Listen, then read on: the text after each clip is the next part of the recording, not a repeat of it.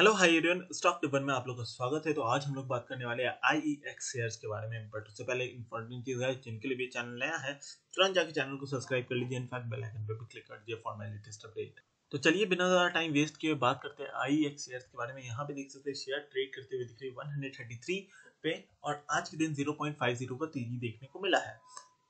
Market में जब starting हुई थी तो शेयर डाउनफॉल बनाई हुई थी बट यहाँ पे फिर से तेज़ी जो एक अच्छी बात रही है मार्केट के लिए।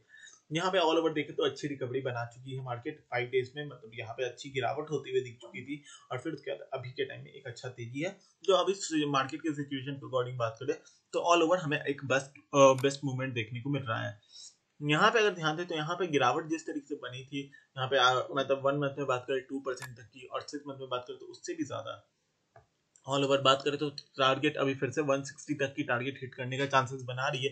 बट 160 से पहले 140 को भी ब्रेक करते हुए दिखेगी जल्दी ही आपको मार्केट में, जल्दी ही 140 फिर उसके बाद आराम से आपको 155 तक का या ये हिट करने का टारगेट का पोजीशन क्रिएट कर रही है अभी के टाइम में। बात करें होल्डिंग्स की साइड तो होल्डिंग देख सकते हैं अच्छी होल्डिंग बनते हुए दिख रही है। 56.17 अच्छा खासा होल्डिंग्स है। ऑफकोर्स आप लोग पैसा लगा सकते हैं और यहाँ पे एक प्रॉफिट गेन करने का पूरा का पूरा चांसेस बन रहा है। देख सकते हैं, बहुत ही प्यारी तरीके से अपर ट्रेंड को फॉलो करते हुए मार्केट में दिख रही है। और ऑल ओवर अगर बात करें तो यहाँ पे आपको इस एरिया में एक अच्छा रेसिस्टेंस बन जाता है। Three one hundred thirty five के रेंज में बहुत ही स्ट्रॉन्ग रेसिस्टेंस बनती है। आपको इस चीज़ को लेकर बहुत ही ज़्यादा केयरफुल रहना है।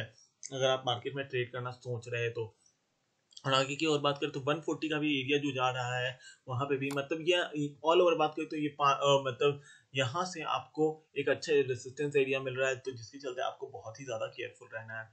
अब ऑल ओवर चीज़ की बात करते तो यहाँ पे एक और चीज़ मैं आप लोग को इन्फॉर्म करना चाहूँगा।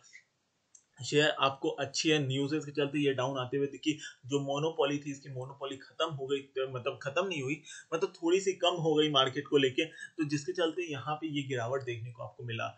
बट ऑल ओवर बात करें मोनोपोली खत्म हो जाने से क्या होता है? मार्केट में तो ऑफकोर्स इफ़ेक्ट दिखता है रेवेन्यू पे इफ़ेक्ट दिखता है। मतलब अगर रेलवे के कंपटीशन में दूसरी कोई कंपनी आ जाए तो ऑफकोर्स वहाँ पे कंपटीशन लेवल बढ़ जाती है। बट ऑल ओवर हम लोग बात करें, अगर फोकस करें तो एक चीज़ फ़ायदा क्या होते हुए दिखता है कि जो इसकी ब्रांड वैल्यू है ब्रांड वैल्यू बहुत ही ज़्यादा मेजर रोल प्ले करती है। जैसे अभी के टाइम में हम बात करें इन्फोसिस टीसीएस विप्रो ये सारी कंपनी बहुत ही उमदा कंपनी बहुत ही नेक्स्ट लेवल की कंपनी है। बट कोई और भी मार्केट में अगर कंपनी आ जाती है तो ऑफकोर्स इनको इफ़ेक्ट होते हुए दिखेगी रेवेन्यू कम हो सकती है कहीं ना कहीं पे। इंडियन सेक्टर ऐसे भी आईटी के मामले में बहुत ज़्यादा डेवलप है। बट ऑल ओवर अगर बात करें, थोड़ी सी रेवेन्यू कम होते हो जाएगी बट यहाँ पे उनको अपना ब्रांड वैल्यू भी पता चल जाएगा कि इनका ब्रांड वैल्यू कितना। उसके बाद भी अगर ये मार्केट में अपना पकड़ बना लेती है तो आप लोग इस पर बहुत ही ज़्यादा मतलब अटल रह सकते हैं मतलब बहुत ही ज़्यादा डिसीज़न डिसीज़न रख सकते बहुत ही अच्छा डिसीज़न रख सकते नहीं one of the best stock है अभी के टाइम में ऐसा आपको मिल सकता है। बट अगर इसके बारे में फंडामेंटल में डिटेल वीडियो चाहिए, पूरी फंडामेंटल वीडियो चाहिए तो कमेंट करके बताना। ऑफकोर्स मैं वीडियो बता, बना दूँगा। और कुछ भी डाउट हो तो कमेंट करके पूछ लीजिएगा। Thank you have a nice day guys video पसंद आया तो लाइक करिए चैनल को सब्सक्राइब करना मत भूलिएगा।